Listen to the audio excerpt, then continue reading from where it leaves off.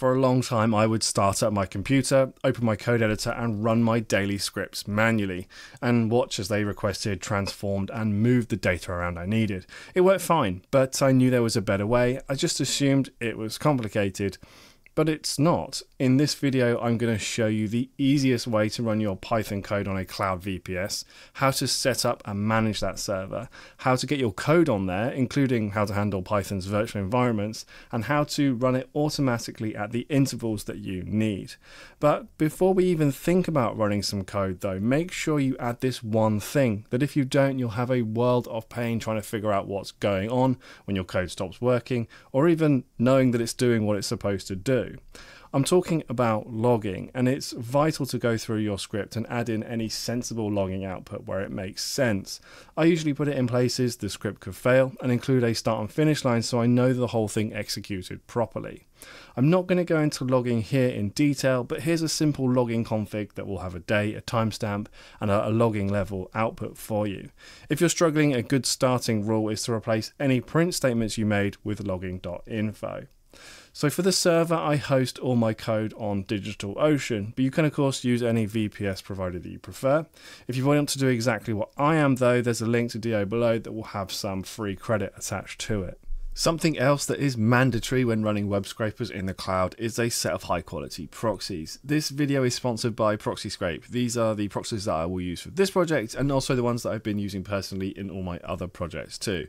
We have access to high quality, secure, fast and ethically sourced proxies that are going to allow us to run code on a shared VPS and not get instantly blocked. There's 10 million plus proxies in the pool to use, all with unlimited concurrent sessions from countries all over the globe, enabling us to scrape quickly and efficiently efficiently. I'd recommend the residential proxies as these are the best option for beating any anti-bot protection on sites and with auto rotation or sticky sessions this is the simplest but most effective way to avoid our projects being blocked and allow us access to the data we need. It's only one line of code to add and then we let ProxyScrape handle the rest from there and any traffic you purchase is yours to use whenever as it doesn't ever expire which is really nice. But there's definitely a case for data center proxies though and ProxyScrape has you covered there too. Unlimited bandwidth 99% uptime no rate limit and IP authentication makes them a great option for the right use case. So if this all sounds good to you go ahead and check out ProxyScrape at the link in the description below. Okay let's get this code running in the cloud so once you've created your DigitalOcean account and logged in, you want to come to create. I'm going to create a new droplet. Select the location, obviously that's nearest to you. We want Ubuntu, latest version. We can drop this down to the regular SSD and $6 a month. I'm going to use a password and then type in your password that you want to use here and then create your droplet. You can change the name if you want to. This is going to create everything. Now it's worth noting here that this is obviously a Linux machine.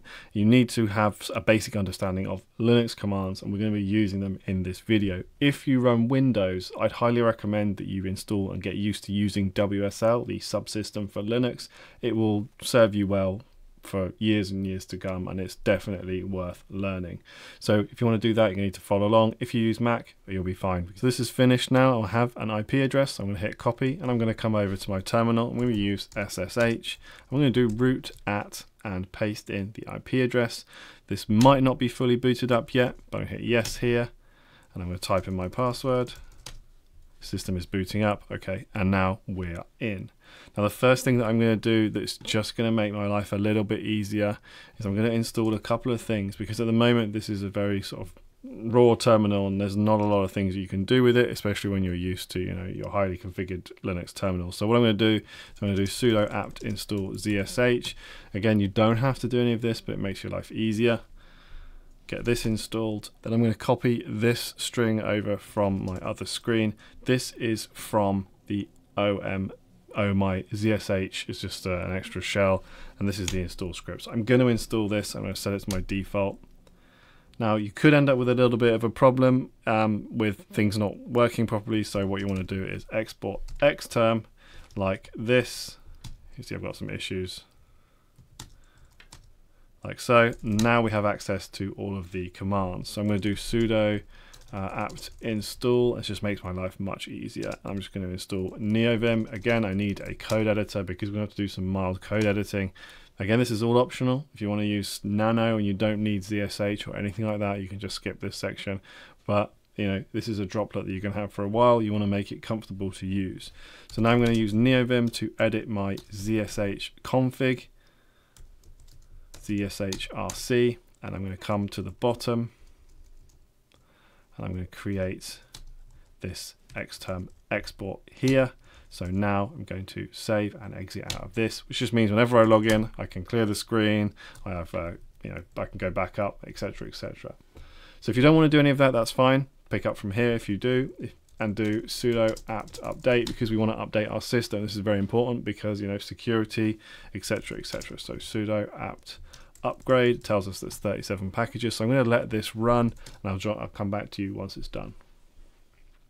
So we're going to reboot this later. We're going to install a few other things first. So again, sudo apt install, and we're going to want to do python 3 dash pip because we want to install pip on our machine so we can you know install Python packages, and then python 3.12 venv, and then that should be it. This is just basically so we can create our virtual environments and then use pip to install packages into those virtual environments. Okay, so that's done. So now I'm going to reboot the machine. Just type reboot and it's going to close my connection and I'm just going to wait a few seconds and then try and reconnect. Uh, it's probably strictly not needed but always worth doing. And we're back in and everything's working. So from here we want to create a folder for our code. So I'm going to do cd into my home directory with the squiggly little line. We're already in it. I'm going to do make the projects. I'm going to call this Alpine and then projects like so. I'm going to cd into it. This is where we're going to put this specific specific project. Obviously, you can have multiple ones on here. We are going to handle virtual environments. Don't worry. Maybe Python 3-m venv venv, and we'll create our virtual environment, and we'll be ready to push our code onto into this folder. So let's activate it. Source venv bin activate, and we're ready to go here. Now, there's a few different ways that you can push code onto your droplet. The best option is using Git GitHub because obviously when you want to update your code, you can update it, you can edit it on your local machine, update your Git repo, and then pull it back down. However, I'm going to show you a different way. We're just going to copy the code directly with SCP. I think it's called Secure Copy from our from our host machine to our target machine. It's very easy, very quick, and you know, nice and simple to do. Again, if you're going to do this a lot, use Git. It's going to be much better for you. I'm going to come back over to my actual desktop. We'll do SCP and the files we want to copy over, aptk and our requirements.txt. This is the actual list of the packages we need to install. You could do it manually. I've just done it in a text file. Now we do our, our root at, and I need the URL, the IP address for this again. Paste that in there. Then we do colon. Then we do our squiggly line projects and Alpine, like so. And it's going to ask us for the password, and it's done. So if I come back to our uh, droplet, we now have those two files here, and we can do pip3 install the requirements.txt. Oh, we need to do uh, dash r. And this is going to install everything that I need for this project to run. And to confirm that, I'm going to do Python 3 and I'm just going to make sure that it runs and it is and we can see right away that they have all of this nice logging here which is going to be saved for us. So I'm going to stop this because there's one other thing that we're going to need to do and that's to add in our proxy string. If we come to the actual uh, file and I go to proxy we can see here that I'm saving the proxy into a um, environment variable on this droplet. Now you can put your proxy string directly into the code if you want to. I wouldn't do that. I'd keep it as an environment variable personally. That's how I manage all of mine. Now to do that, we want to come back to our ZSH file. So I'm going to cd back out here because it's going to be in this directory and we'll do nvim zshrc now to create a virtual environment, to create a environment variable, well, we already created this one. We use export and then we give it the name. And I called mine sticky proxy because I'm using one of the ones that auto rotates um, every five minutes, I think I said, or three minutes, and then you put the proxy string in here. I'm just going to put mine in, and obviously I don't want to show you it because this is my actual proxy that I, that I do use. So now that's done, you need to source the file. So we'll do source uh, zshrc, which basically kind of just refreshes this file. And now to show the string, just so you can see that it's working, you just type dollar sign and then whatever you called it, and it should give you this string back up here. He says there's no such file or directory. That's because I was trying to do something with it, but I'm just verifying that it's there. So now we can go back to our project file over here, activate this again, and we're good to go. Now when we want to run this we're going to use cron. I'm going to talk about that in just a second but first of all I'm going to create a shell script to actually run this um, code. Now you don't have to do this, but I've just found this is to be the easiest way. And what I mean is that it's basically you know a bash script that's going to go to the directory, it's going to activate the virtual environment, it's going to run the code, and then it's going to deactivate the virtual environment. And this is a really nice way. So if you run multiple projects that have different virtual environments because they have different requirements, you can just create a shell script for each one, bash script, and then have it run via cron and it's all nice and separate. So I'm going to create a new file and we'll call this one alpine.sh and we need to do a couple of things here. We need to start this off with our bash script. So we will do the shebang line and then we do bin uh, bash like so. Bin bash then we want to say that our path is going to be equal to, and I'm just going to type this out. Um, this is just so it kind of knows where to find um, bash so it can actually work. And these are a few different places that it can be, which is why they're separated by a colon. Uh, I think if you copy this string, you should be absolutely fine. So what we want to do now is we want to activate the virtual environment. Now, we, to do that, we did source. So we want to do, we actually what we'll do first is we'll cd into the directory because we'll go into our project directory. So we'll do cd and we'll go projects alpine. And from here we want to source venv bin activate. Then we want to run the Python file. So we do Python 3 and it was aptk I think .py and then we want to deactivate deactivate the virtual environment. So I think that should be fine. So what I'm going to do is I'm going to cd back here into my home folder. I'm going to deactivate it. Oh, one other thing I forgot to do. I need to make this executable. chmod plus x to make it executable. Projects alpine alpine.sh. Cool. So now we can just run this file. And we should start to see our script running. And this just means, you know, you can run this, we can call this script from anywhere we are in our in our um, um, code in our in our file system. So when cron runs it, it runs it. It's going to find the right directory. It's going to run it, and our code's going to run. It's going to activate the virtual environment, and then it will deactivate it at the end, and everything will work fine for us. So now that we know that that's going to work, what we're going to do is we're going to do cron tab dash e. Now uh, it's not going to give me the access. I don't know if I can run this with, oh yeah, NeoVim. There we go, perfect. All right, so this is our cron tab. So I'm going to come to the bottom of this file and we're going to create a new line. Now I'm going to share, share with you a website called crontab.guru where you can choose the time. So the each star is representation of when the code is going to run. I'm going to put star, star, star, star, star for the moment. This is going to run it every minute because we want to see that it's actually working. So what we're going to do is we will go with our four star and then we'll do our project folder. So projects, alpine, and alpine.sh like so.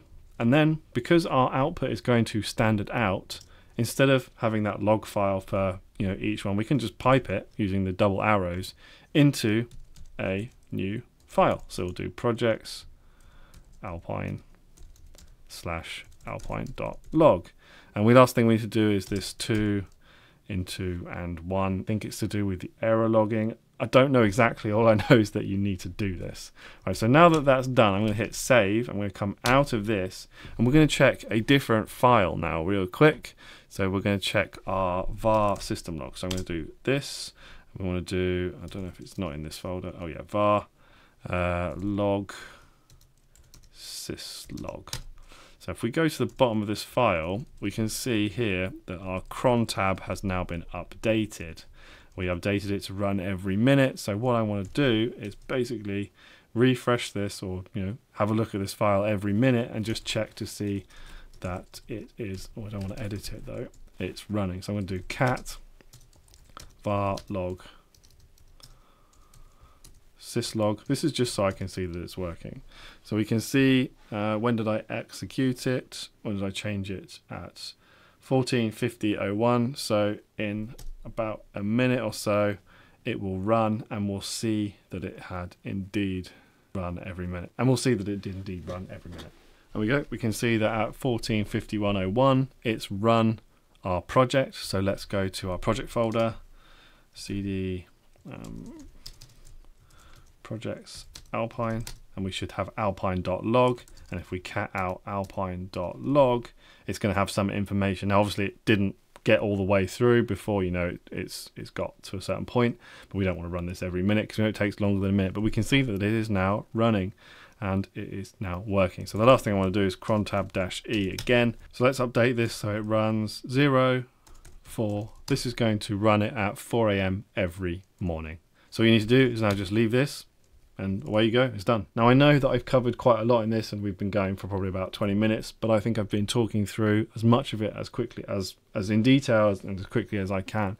But you know, once you know what you're doing, getting this set up to run some code takes a couple of minutes at best, and it's super easy to do. It's very reliable. In fact, it's more reliable than running your own home server, which I actually do as well, because you know there's no if you have a power cut at home it goes off. If the, if something goes wrong with your hardware at home you need to fix it. But having you know paying six dollars a month to run you know multiple scripts in the cloud on DigitalOcean or similar you know it's a no-brainer. It's up 99.999% of the time and you have very very little errors. I've got a droplet the same one. I think it's been going for five years doing a few things every day.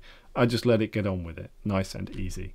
I hope you've enjoyed this video. If you want to see how I can write the code to then scrape data every day, you want to watch this video next.